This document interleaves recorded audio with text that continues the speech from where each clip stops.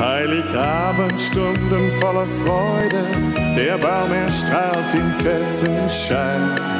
Welch ein schönes Fest, denn von überall fand sich die Familie ein.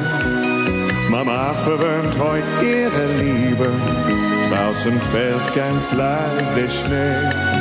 Doch die Krönung der schönsten Stunden ist der köstliche Kaffee. Ja, die Krönung der schönsten Stunden ist die Krönung